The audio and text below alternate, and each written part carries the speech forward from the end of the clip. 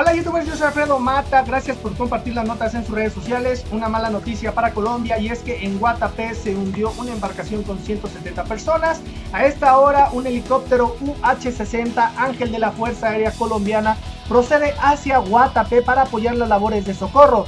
Cinco buzos, bomberos de Medellín, cinco buzos del grupo de socorro, dos unidades de rescate, una ambulancia y una unidad del Comando Cruz Roja Medellín están apoyando en las labores.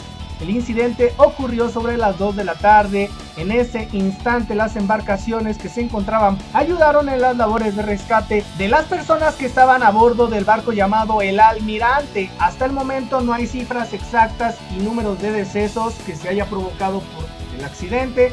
Sin embargo, ya varios organismos de atención y socorro se encuentran en la zona atendiendo los hechos. Esta es la nota de Alfredo Mata, les dejo un gran abrazo y estén muy bien.